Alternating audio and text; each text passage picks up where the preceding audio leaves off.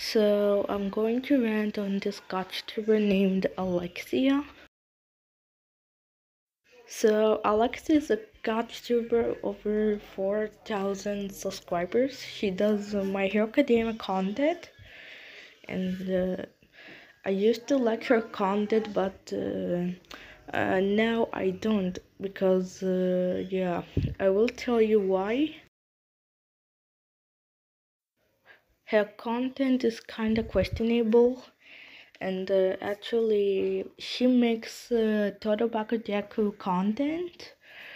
And actually I don't really like it just because yeah you know um, sometimes she makes uh, Bak- Bakugo and Todoroki abuse Deku and other more stuff. Like come on abuse is not a joke and it's not even funny because uh, people are going drunk on this stuff like come on you you you think abuse is funny and uh, not uh, real stuff?